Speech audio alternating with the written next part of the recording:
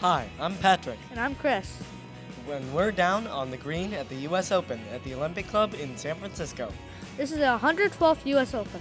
The first one was played in 1895 with only 10 professionals and one amateur. There is some amazing competition going on, and it's been an exciting day on the, at the course. Now let's go to a message from our sponsors. Most people see a ball blasting out of a bunker. I see scatter theories. I see volcanic basalt, thermal maturation, and evaporites. I see basin modeling and geodestiny. And the cool thing is, I see all of this because of a ball blasting out of a bunker.